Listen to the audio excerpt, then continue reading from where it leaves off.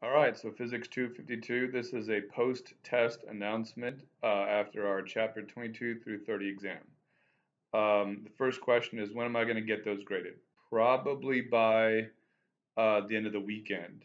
Um, I have a National Science Foundation workshop that I'm running uh, this week, and so I cannot grade your exams uh, in a day or two. It's just not going to happen. I've got um, to put on that workshop. So um, your exams will be graded by the end of the weekend, the upcoming weekend.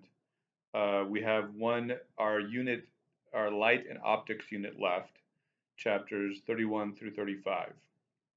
There will be a test on those chapters only, so not cumulative. Uh, you are done with the chapter 22 through 30 material.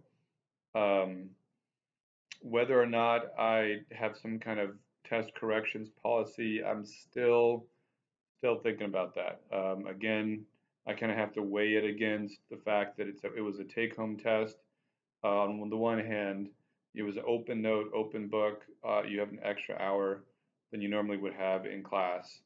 But then on the other hand, uh, we moved extremely fast, and um, learning is just it's more difficult online, um, especially for a class like this, which is a process. Physics, uh, you may have noticed, is more of a process of solving problems rather than just memorizing content. So um, a decision as will has yet to be made on whether or not I'm going to apply some kind of a test corrections policy, but um, like I said, I probably will not get your test graded until the end of the weekend.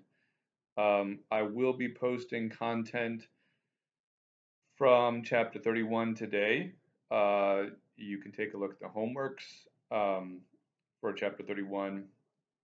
And we're going to pretty much skip, uh, stick to the schedule that I posted, the version 4 schedule. So I'm going to try hard to stick to that schedule. But um, so you've made it so far. Good for you. You took the test. Uh, whether or not you passed, I suppose we'll see. But um, as always, let me know if you have any questions. Hang in there. We're almost almost done. Uh, don't give up now. um, you know, I'm definitely I have the philosophy of trying to work with you to get you through the course. Uh, so if you have any concerns, just let me know.